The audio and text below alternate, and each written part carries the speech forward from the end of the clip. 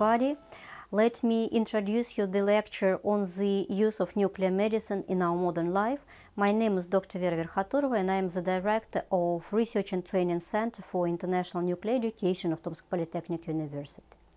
So nowadays when we hear the word nuclear, there is a huge scare that it could be very dangerous for our health because radiation, etc.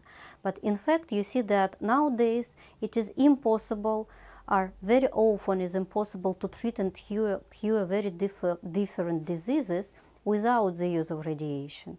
And nuclear medicine proves this fact. So if you want to do the diagnostics or the treatment of one of the most dangerous and worldly um, spread disease such as cancer, all types of cancer, you have to use nuclear and radiation technologies. So for example, the production of medical isotopes for diagnostic and treatment is impossible to be done without the use of nuclear and radiation technologies. So here on the slide you can see the examples of the use of are the uh, medical isotopes produced at nuclear facilities for diagnostics and as you see are every year more than 40 million procedures in nuclear medicine are done, uh, diagnostic procedures are done with the use of nuclear technologies. Uh, the most popular radiopharmaceutical that is used for diagnostic is technetium-99 are, it is half-life of 6 hours isotope and this isotope gives to the patients a very low radiation dose. So it is not dangerous for the health and on the other hand it is very useful to do the diagnostic of different cancer diseases. Apart from the diagnostic, we can use medical isotopes produced at nuclear facilities and radiation facilities for the therapy to fight with cancer and to treat different cancer diseases. Here on the slide you can see the examples of the medical isotopes that are used to treat the cancer tumors and one of the most popular among them is iodine 131. It is used in a small amount to treat cancer and other diseases affecting the thyroid gland. Are if we think about the perspective of the development of nuclear medicine in the field of radiopharmaceuticals production, maybe the most perspective direction is a theranostics. It is not a secret that these procedures, diagnostic procedures and therapeutic procedures are very difficult and physically hard for our body. And uh, especially if you're already faced with a surgery and after the surgery you have to have this our radiation therapy, it is just physically hard. If we use theranostic direction, it can seriously decrease the number of procedures that the patient can are and has to go through. So theranostic is a combination of therapeutic and diagnostic isotopes in a one substance. As a result, when it is sent to the human body, it works in two directions. It has diagnostic effect and then subsequently therapeutic effect. Uh, in our university, uh, we use our nuclear and radiation facilities to develop all the directions of nuclear medicine because apart from medical isotopes production, uh, we use radiation therapy and radiation diagnostic. Let's look at this slide. This slide describes our, our, our special proud, our nuclear research reactor. And as you see, there are different applications of this reactor and a, par, a part of this or among of these applications is the use of nuclear facility for medical isotopes production and for therapeutic neutron capture therapy. Uh, one more facility which is also used not to produce medical isotopes but to do medical treatment is named Betatrons. It is a small scale accelerator and the efficiency of the use of betatrons to fight with cancer, to treat cancer diseases is extremely higher. So we use betatrons for intraoperative radiation therapy and superficial radiation therapy.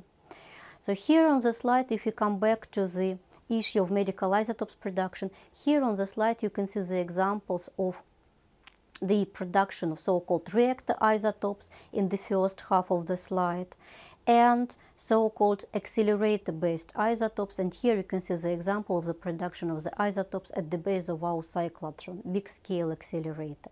So very important fact is that uh, when we talk about reactor-based technology of medical isotopes production, you see that the final stage is named no radiation waste. It is completely eco-friendly technology without any danger to the environment. Um, when we come back to the topic of theranostics and the perspectives of the development of this direction, on this slide you can see the examples of the combinations of different isotopes with diagnostic and therapeutic effect. Among them are, we can see the are iodine in particular that we already discussed in our today's lecture. Um, Betatrons, small-scale accelerating facility which is extremely effective in some types of the radiation therapy. Look at this slide. The numbers are very bright. Uh, you see that when we have a surgery, after the surgery, a cancer patient has to come through so-called after surgery radiation therapy. Traditional after surgery radiation therapy takes at least five weeks. After very hard physical surgery, you have to have five weeks of radiation therapy. If we use Betatron, just one minute is enough just to compare one minute and five weeks. So this proves that the use of radiation facilities in the field of cancer treatment is a very prospective direction nowadays. One more very brilliant number at this slide is the efficiency of the treatment. It's not a secret that uh, even after all this very hard physically hard procedures such as surgery, radiation therapy, radiation diagnostics, there is a higher chance that the cancer can come back. If we use traditional therapy, the chance is really very high. But if we use Betatron-based therapy, as you see on the slide, the number of local relapses and the number of comebacks for the cancer seriously reduced up to 18 percent. One more very prospective direction in the field of nuclear medicine, it is based on the use of nuclear facility, not radiation facility in comparison with the previous slide. It is neutron capture therapy. So it's not a secret that very often if a person uh, listens to the diagnosis such as brain cancer or uh, neck cancer, are in nine, more than 90% such type of cancer is a fatal because we can't use traditional surgery and we can't use traditional radiation therapy surgery. Why? Are especially if a tumor locates very deep in the brain, to reach this tumor, you have to have damage healthy substances of the brain. You know that brain is a very sensitive substance, and if you, you damage even one millimeter of the substance, the negative consequences for the body are extremely higher. If we use neutron capture therapy, we can kill only a tumor without damaging healthy, healthy substances of the brain, health, healthy parts of the brain substance. So here on the slide you can see the description of this type of the therapy in detail and I can say that at our nuclear research facility we successfully developed this technology and we're doing piloting or testing procedures with the cats and the dogs with very promising results. So to sum up, are if you want to get the training in the field of nuclear medicine, and I hope that are in our lecture you heard that it is very prospective direction nowadays, you can go to our educational programs. We have language based pro uh, Russian language based programs, English language based programs, and among them, as you see at the master level, there is a program uh, which is named Nuclear Medicine. The training of the program is based at the facilities, all the facilities that I told you today about in the presentation. So thank you very much and welcome to our university.